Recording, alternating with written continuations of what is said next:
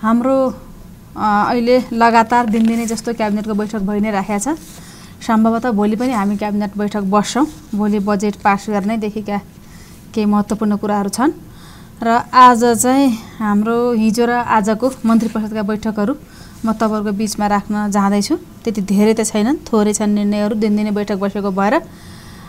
हिजो दुई हजार असी साल जेठ बाह्र गते शुक्रबार बसेको मन्त्री परिषदको बैठकका निर्णयहरूका विषयमा अर्थ मन्त्रालयको प्रस्तावमा तनहुँ जलविद्युत आयोजना ऊर्जा प्रणाली विस्तार आयोजना ग्रिड विकास आयोजना र नेपाल वितरण प्रणाली स्तरोन्नत विस्तार आयोजनाका एलआइबिओआर सन्दर्भ र दर अनुसार ब्याज दर निर्धारण गर्ने व्यवस्थाको सट्टा फरवर्ड लुकिङ टर्म्स एसओएफआरका आधारमा ब्याज दर निर्धारण गर्ने गरी वित्तीय सम्झौतामा संशोधन गर्ने स्वीकृति प्रदान गरिएको छ। त्यसै गरेर उद्योग वाणिज्य तथा आपूर्ति मन्त्रालयको प्रस्तावमा अस्सी जेठ दुई तिसदेखि बत्तिस तदनुसार दुई हजार तेइस जुन तेह्रदेखि पन्ध्रमा भारतको कोलकातामा आयोजना हुने बिमस्टेक व्यापार सम्मेलनमा सहभागिताको लागि उद्योग वाणिज्य आपूर्ति मन्त्री रमेश रिजालको भ्रमणलाई स्वीकृति गर्ने निर्णय गरेको छ। र त्यसै गरेर परराष्ट्र मन्त्रालयको प्रस्तावमा बिमिस्टेकको भविष्यको कार्यदिशाका लागि प्रभुत्व व्यक्तिहरूको समूहमा नेपालका तर्फबाट पूर्व परराष्ट्र सचिव तथा संयुक्त राष्ट्रसङ्घका लागि पूर्व राजदूत थाई प्रतिनिधि श्री दुर्गा प्रसाद भट्टराईलाई मनोनयन गरी पठाउन परराष्ट्र मन्त्रालयलाई स्वीकृति दिने प्रस्ताव पनि निर्णय पनि गरिएको छ परराष्ट्र मन्त्रालयको प्रस्तावमा। त्यसै गरेर शिक्षा विज्ञान तथा प्रविधि मन्त्रालयको प्रस्तावमा रासायनिक पदार्थको सुरक्षित प्रयोग नियम तथा जोखिम व्यवस्थापन सम्बन्धी विधेयक तर्जुमा गर्न सैद्धान्तिक स्वीकृति दिने भन्ने प्रस्ताव पनि यहाँ पारित गरिएको निर्णय गरिएको छ। र सञ्चार तथा सूचना प्रविधि मन्त्रालयको प्रस्तावमा किर्तिपुर नगरपालिका सातका उपेश महर्जनलाई गोर्खापत्र संस्थानको सम्पादक सल्लाहकारमा दुई वर्षका लागि नियुक्ति गर्ने भन्ने पनि प्रस्तावमा निर्णय गरिएको छ। र सहरी विकास मन्त्रालयको दुई हजार अस्सी जेठ बाइसदेखि छब्बिस तदनुसार पाँच नौ दुई हजार तेइससम्म केन्याको नौरबीमा आयोजना हुने कार्यक्रममा युनाइटेड नेसन्स ह्याबिटेट एसेम्ब्ली कार्यक्रममा मान्य शहरी विकास मन्त्री सीता गुरुङको नेतृत्वमा रहेको प्रतिनिधिमण्डललाई सहभागी हुन स्वीकृति दिने निर्णय गरिएको छ र अर्को निर्णय एखालले बाहिर पनि आइसकेको छ। नागरिकता विधेयकका सन्दर्भमा नागरिकता विधेयकका विषयमा दुईटै सदनबाट पारित भएको नागरिकता विधेयक जो प्रधानमन्त्री कार्यालय के अरे राष्ट्रपति कार्यालयमा रहेको छ। राष्ट्रपति कार्यालयमा निर्णय विचाराधीन रहेको विधेयकका विषयमा राष्ट्रपतिलाई प्रमाणीकरण गर्नको निम्ति क्याबिनेटको बैठक बसेर निर्णय गर्ने के अरे सिफारिस गर्ने अनुरोध गर्ने निर्णय क्याबिनेट बैठकले गरेको छ हिजो यो बाहिर आइ पनि सकेको छ। त्यसै गरेर आजको बैठकको यो दुई आज हाम्रो दुई अस्सी जेठ चौध गते पनि फेरि मन्त्री परिषदको बैठक बसेको छ।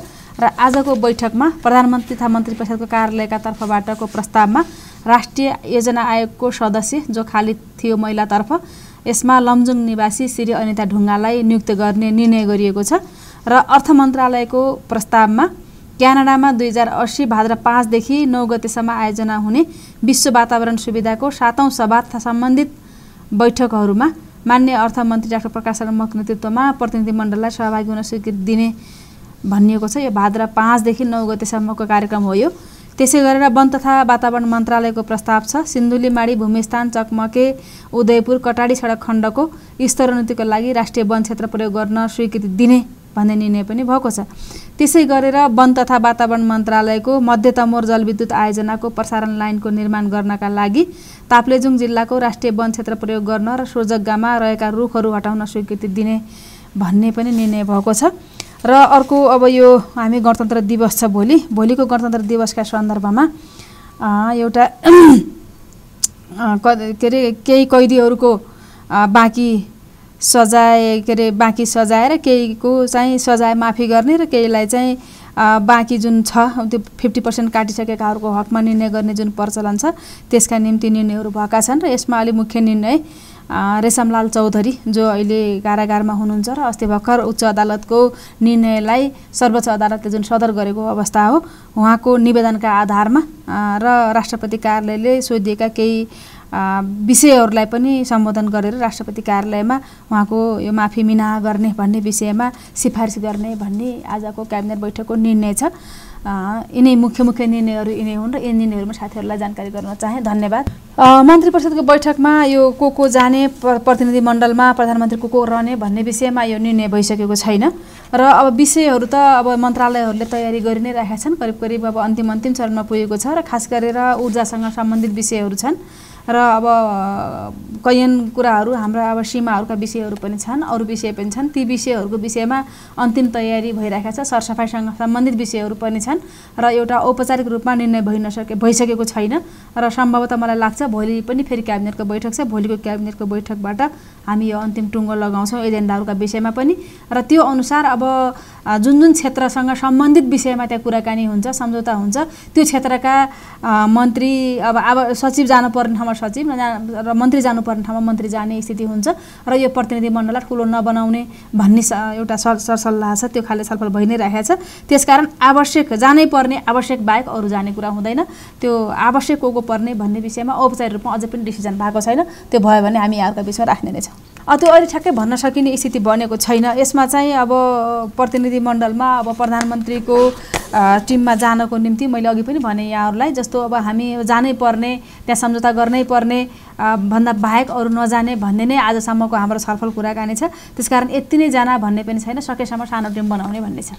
यस्तो छ होइन? गम्भीरतापूर्वक नलिने भन्ने कुरा भएन। यो मुख्यत कस्तो रहेछ भन्नुहुन्छ भने अहिले सर्वोच्च अदालतको जुन फैसला भयो त्यो फैसलालाई मूलत यो हाम्रो उच्च अदालतको फैसलालाई सदर गरेको अवस्था हो।